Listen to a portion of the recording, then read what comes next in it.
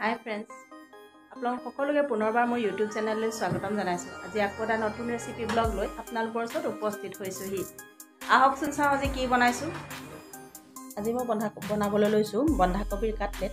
তাৰ কাৰণে মই এটা বন্ধাকবিৰ আধা লৈছোঁ কাৰণ আমাৰ মানুহ অলপ কম। সেইকাৰণে মই কমকৈ লৈছোঁ। আপোনালোকে ইচ্ছা কৰিলে এটাও ল'ব পাৰে।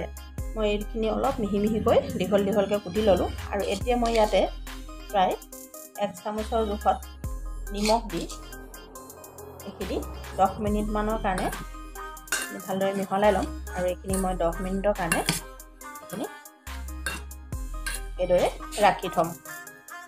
এইখিনি বন্ধাকবিখিনি এনেকৈ নিমখ দি থ'লে অকণমান কোমল হৈ যাব। এতিয়া আমাৰ এইখিনি ঢাকি থোৱা প্ৰায় দহ মিনিটমান হৈ গ'ল দহ পোন্ধৰ মিনিটমান এতিয়া মই এইখিনি চব ধুনীয়াকৈ পানী ওলাইছে পানী নিমখ দি থোৱাৰ কাৰণে এতিয়া মই এইখিনি চেপি অতিৰিক্ত পানীখিনি বাঢ়ি কৰি ল'ম।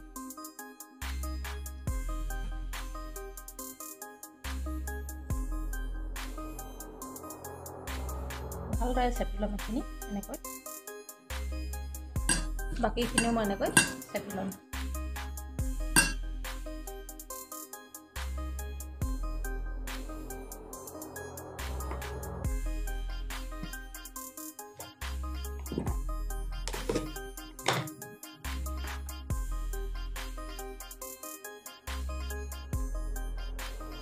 এতিয়া আমাৰ এইখিনি চেপি লোৱা হৈ গ'ল। ধুনীয়াকৈ মই চেপি ল'লোঁ এইখিনি চাওক। এতিয়া মই ইয়াতে দিম এটা মিডিয়াম চাইজৰ পিঁয়াজ মই মিহি মিহিকৈ কুটি লৈছোঁ সেইটো দি দিম। আৰু লগতে মই দিম অকণমান মই ধনিয়া কুটি লৈছোঁ সেইখিনিও দি দিম। আৰু লগতে দিছোঁ দুটা কেঁচা জলকীয়া টুকুৰা টুকুৰকৈ কুটি দিছোঁ। আৰু ইয়াত দিছোঁ মই গোটা ধনিয়া মই অকণমান ভাজি পেলাই সেইখিনি অকণমান পিচি লৈছোঁ একেবাৰে মিহি কৰি দিয়া নাই অকণমান গোটা গোটা হৈ আছে।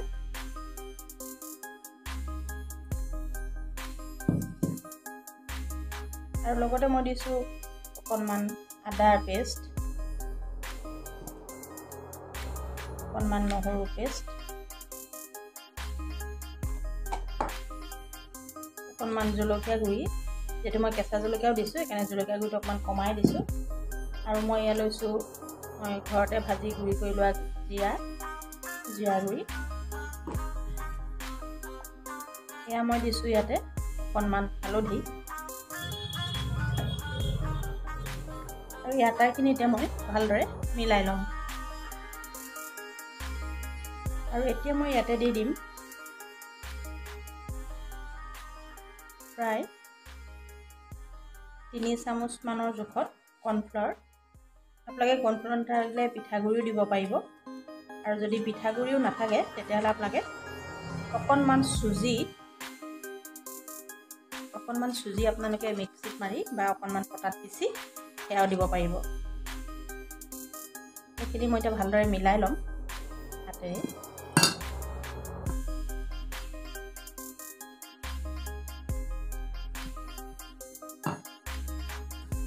আৰু এতিয়া মই ইয়াতে দিম আন্দাজমতে বেচন। আৰু মই যিহেতু এইখিনিত অলৰেডি নিমখ দি থৈছিলোঁ সেইকাৰণে মই এতিয়ালৈকে নিমখ দিয়া নাই। যদি প্ৰয়োজন হয় তেতিয়াহে মই অকণমান নিমখ ইয়াত দিম। এতিয়া মই দিম বেচন। বেচনো মই বহুত বেছি নিদিওঁ অলপ অলপকৈ দি যাম বেচনখিনি।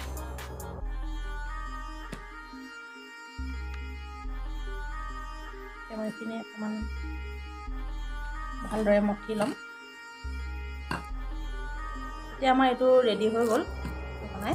এতিয়া মই হাতত অকণমান তেল লগাই ল'লোঁ আৰু এইটো এনেকৈ লৈ পেলাই।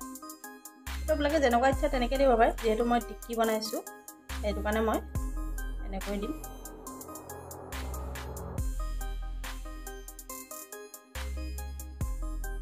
এতিয়া আমাৰ এটা ৰেডি হৈ গ'ল। আকৌ মই অকণমান তেল লগাই ল'ম হাতত। এনেকৈ বনাম। ডাঙৰ ডাঙৰ নকৰোঁ সৰু সৰুৱে কৰিম।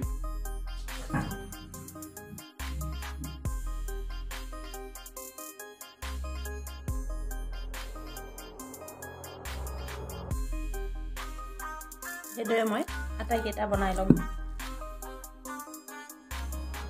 এয়া এতিয়া আমাৰ এইকেইটা ৰেডি হৈ গ'ল। এইখিনি মই এতিয়া তেলত ফ্ৰাই কৰি ল'ম।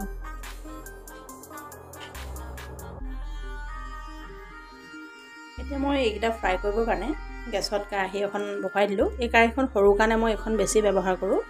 আৰু এতিয়া মই ইয়াত তেল দি দিলোঁ। তেলখিনি ইতিমধ্যে গৰম হৈছেই। আৰু ইয়াতে মই এতিয়া এটা এটা কৰি এইকেইটা দি দিম।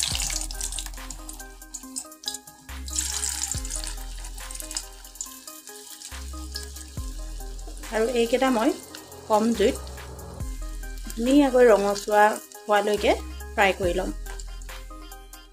এতিয়া আমাৰ এইকেইটা ধুনীয়া ৰঙচুৱাকৈ সিজি গৈছে। এইকেইটা মই এতিয়া নমাই ল'ম।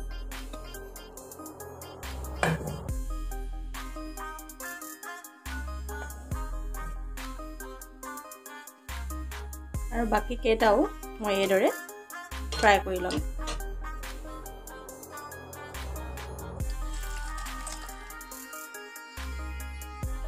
এয়া এতিয়া আমাৰ বন্ধাকবিৰ টিক্কি ৰেডি হৈ গৈছে।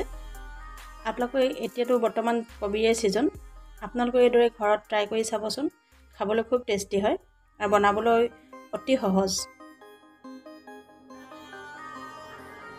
যদি মোৰ ভিডিঅ'টো চাই ভাল পালে তেতিয়াহ'লে মোৰ চেনেলটো ছাবস্ক্ৰাইব কৰি দিব আৰু লগতে মোৰ ভিডিঅ'টো লাইক কমেণ্ট আৰু শ্বেয়াৰ কৰিবলৈ নাপাহৰিব। তেতিয়াহ'লে নতুন এটা ৰেচিপি ব্লগ ব্লগত পুনৰ লগ পোৱাৰ প্ৰতিশ্ৰুতিৰে আজিলৈ আহিছোঁ। বাই